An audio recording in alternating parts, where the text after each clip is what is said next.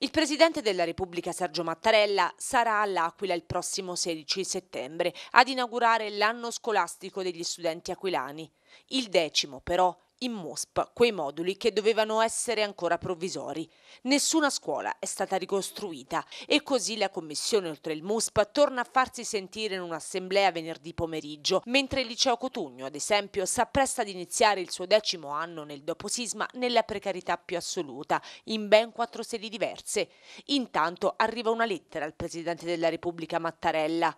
A firmarla è Tommaso Cotellessa, 18 anni, rappresentante degli studenti del liceo Cotugno. Il 16 aprile Tommaso aveva 8 anni. Da allora, racconta il capo dello Stato, il mio percorso scolastico, come quello dei miei coetanei aquilani, è stato profondamente segnato dal sisma, che ha gettato un'intera popolazione nell'incertezza e nell'impotenza.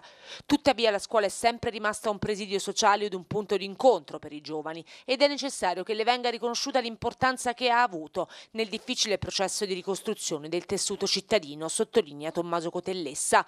Purtroppo, dieci anni dopo, nessuno degli edifici scolastici crollati nel 2009 è stato ricostruito. La mia scuola è divisa in quattro sedi, racconta, poiché non possiamo rientrare nel nostro edificio. La ricostruzione degli edifici scolastici è al palo e troppi studenti fanno ancora scuola all'interno dei MOSP, i moduli ad uso scolastico provvisorio, ma diventati per noi permanenti. Questi moduli sono una sorta di container di lusso che ci hanno consentito e ci consentono ancora di fare scuola nonostante tutto, ma resta il fatto che non parliamo di edifici veri e propri, ma di strutture per le più scadute da anni che necessitano di manutenzione.